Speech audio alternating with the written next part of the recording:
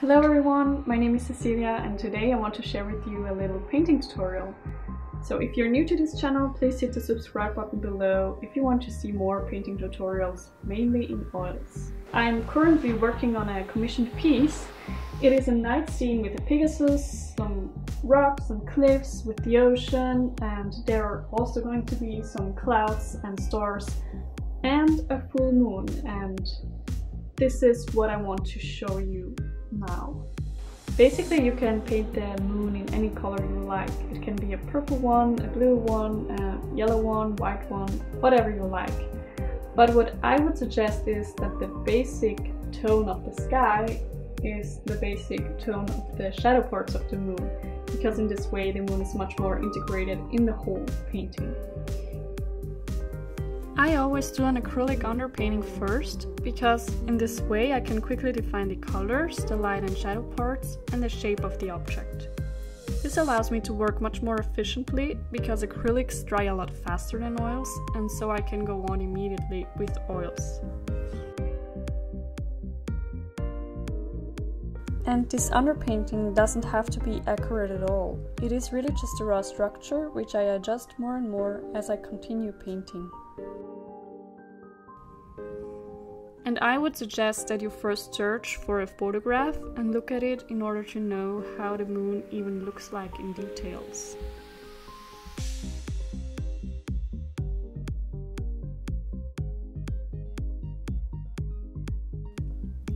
Then I paint the first layer of oils and I start with pure white.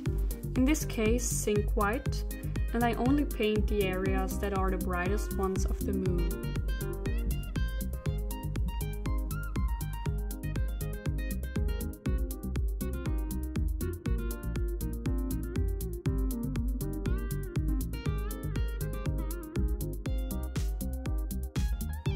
And now I fill out the rest, which is basically just the shadow part of the moon.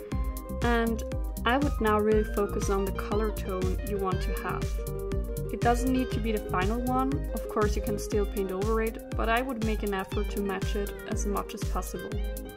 And as I said, I would suggest to use a similar tone as the sky for the shadow part of the moon. I mixed ultramarine blue, ivory black, zinc white and a little bit of cadmium red.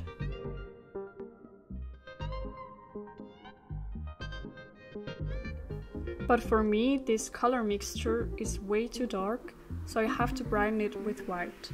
You need a lot of white relative to the other colors.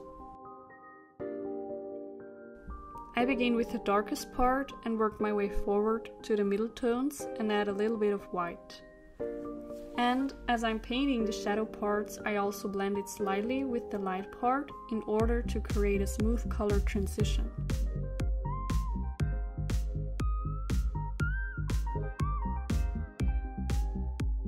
Now I would also pay more attention to the shape of the craters, because the more detailed you get, the more realistic it looks.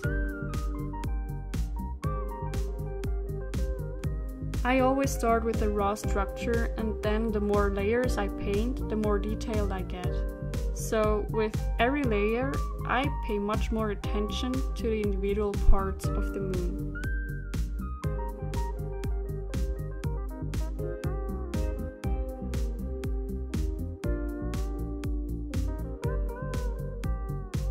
So with the second layer, I highlight the brightest parts even more with pure white and paint the edge more white because the moon will look more shiny if the edge is bright. But you have to look that there is at the left side still a difference between the shadow part and the light part.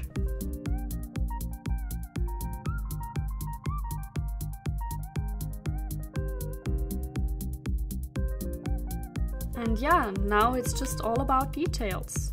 I kinda isolate every area, like first I look at the left side of the moon, the upper part and the lower one, then the middle, and so on. And I look at every single area very, very precisely. I notice every stroke, every change of color, every dark and highlight spot, and paint that. It takes some work and patience, but I think it is really, really worth it.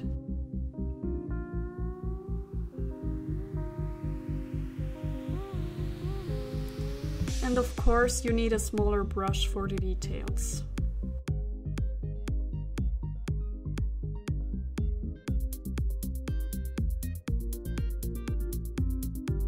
I also really focus on the color transition within the crater. I like to blend the colors because I think it's prettier and looks more realistic. And this is really an advantage when you paint with oils because you can blend so easily. I really like that.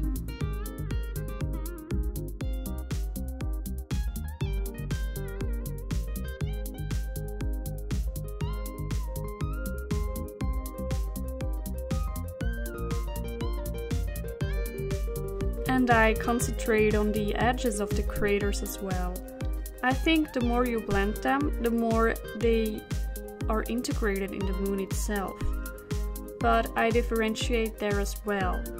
So if you want the crater more edgy, you choose a darker tone, and if you want to have a smoother appearance, you choose a lighter tone and blend more.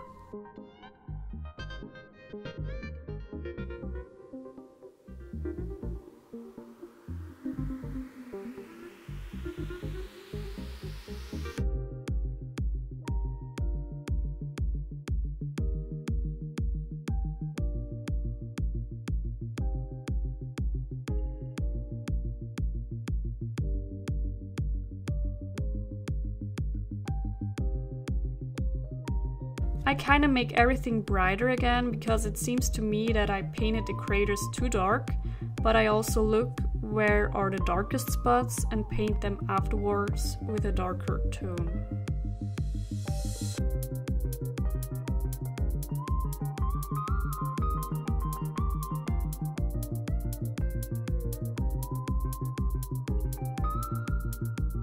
And if you look closer to the bright part at the lower right hand side of the moon, you see that there are some slight color differences, which I paint as well. So I just mix white with a tiny little bit of the shadow color and paint that pattern and try to blend it as well. And the final step is basically creating a shine effect around the moon. And you do that by simply whitening the sky color. Of course, the more white you add, the brighter it gets. It is really up to you how you want that to look like. And then you paint that around the moon and blend it with the regular sky color.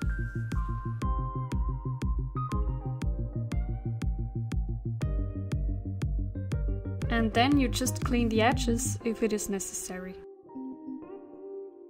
So that's it guys, thank you so much for watching, I really hope you liked the tutorial. If so, give it a thumbs up and comment down below what you want to see next.